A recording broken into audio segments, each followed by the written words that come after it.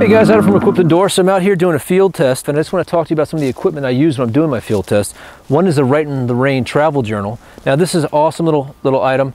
Not very large, just to give you guys a point of reference with my hand size. It's something that can fit in a cargo pocket, maybe stick out a little bit, but I'm wearing a pair of 511 Tac Pros. I know a lot of you guys use that. Slides into the back pocket pretty easily.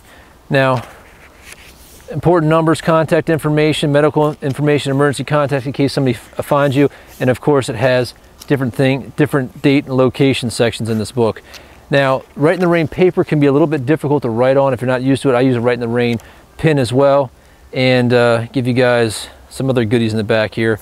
Measurement conversions, wind chill information, time zones, climate zone maps, 10 essentials to survival planning, the wind scale, and also this is pretty cool for us US folks, all the embassy locations and phone numbers.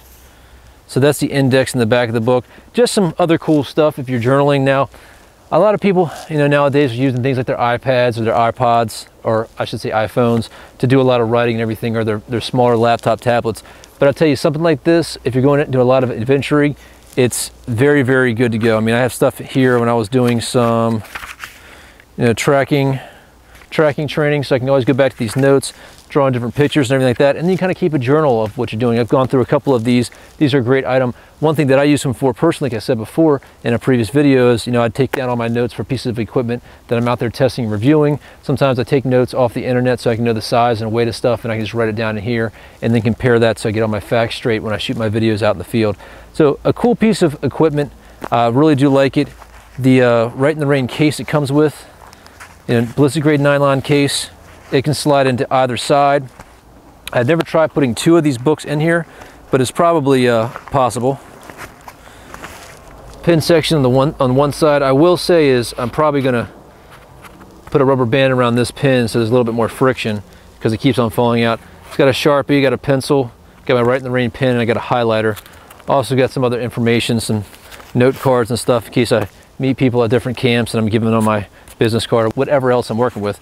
Now the material doesn't, uh, you can Velcro it up a little bit if uh, you wanted to, but it doesn't actually come with any Velcro patches anywhere, which would be cool too, but you can sew those on or you know, glue them on or whatever you're gonna do.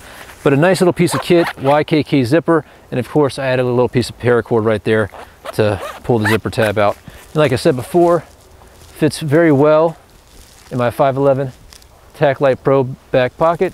Of course, that's going to depend on your size. I'm a taller guy, so my pants might be a little bit bigger than yours. Great piece of kit nonetheless. Check it out.